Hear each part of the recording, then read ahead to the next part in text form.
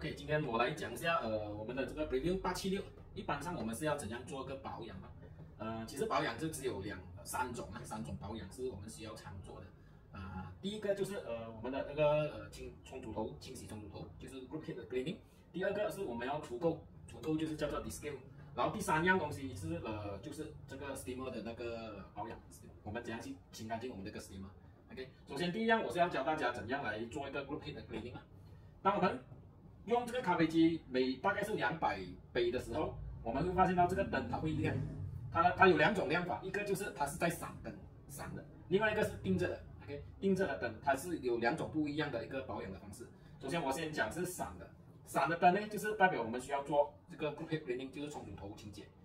OK，首先我要呃跟大家讲的就是呃冲煮头的这个怎样做一个冲煮头的清洁呢？当你看到这个灯在闪的时候，就是代表我们需要做一个冲煮头的清洁。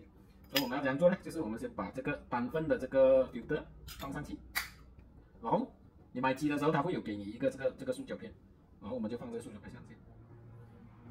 接下来你需要一个这个清洁锭 cleaning tablet，OK，把清洁锭放在中间这一边，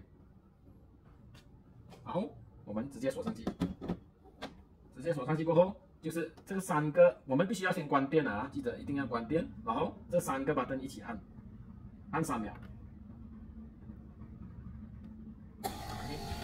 这样子就是进入这个清洁模式了。呃，打这个清洁模式大概会用五分钟的时间。五分钟过后，它会自动停住，我们就不需要做什么，我们就只只是在等就好了。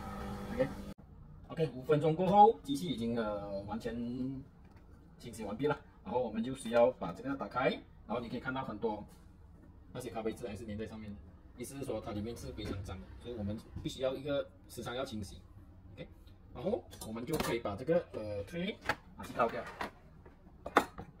倒掉过后，我们第一次的咖啡冲过，我们不要喝，OK。然后第二次泡过，我们再喝，就是这样子了。记得点赞关注哦。